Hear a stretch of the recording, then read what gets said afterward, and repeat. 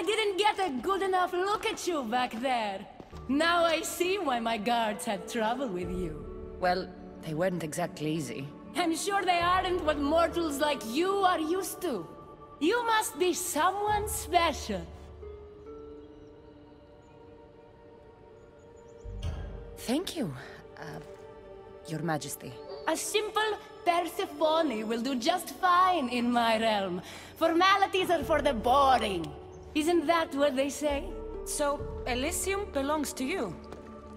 After the rude introduction I gave you, I can't blame you for not knowing. Let me apologize.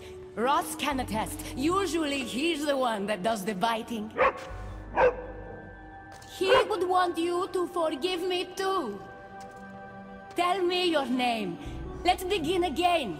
On the right foot, this time. No hard feelings. My name's Kassandra. Then I give you my official welcome, Kassandra. Let me tell you what's customary around here. This place is mine. I know every flower, every face. I alone let them in. But there's something here I don't want. You mean me? No! There's a beast loose in Elysium and it belongs to Hades. If it gets to him that his wife stole one of his immortal mounts, it'll be a disaster. But I didn't steal it. I won't go near the things. They brought me down here in the first place. No, someone wants me to look bad, and I need that horse gone. The Hades? I'll take it you aren't a happy couple. He's tried, of course, to bond with me.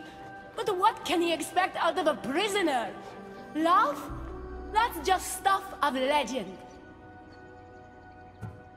You think someone would do this to you? It's highly unlikely the thing got in here on its own. I have to remember Elysium is my paradise, not everyone else's. I'll see if I can find the horse for you. What does it look like? You'll know it when you see it, trust me.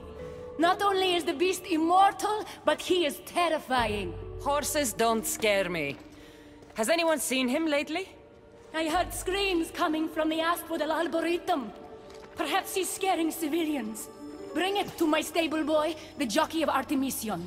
He'll know how to send it galloping back to the nightmare it came from.